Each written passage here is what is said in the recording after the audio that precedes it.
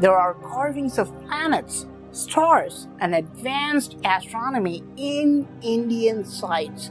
This is simply not supposed to exist.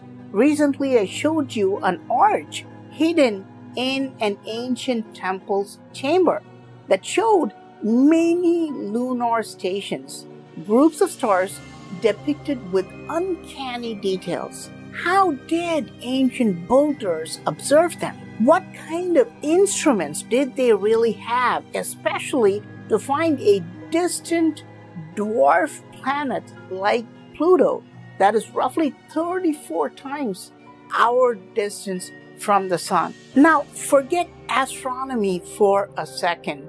Take a good look at this carving.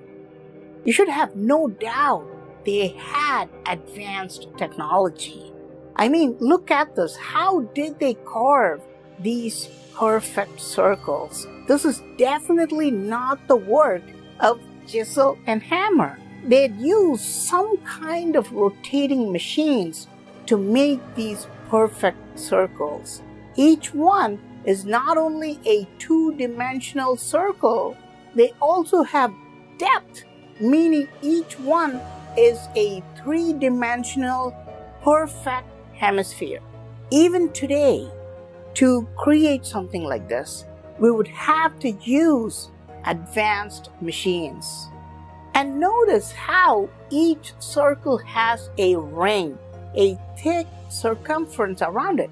Look carefully. Unfortunately, people have tried to destroy this extraordinary carving. In fact, if you see next to it, you see a much bigger circle and it has been completely hacked off.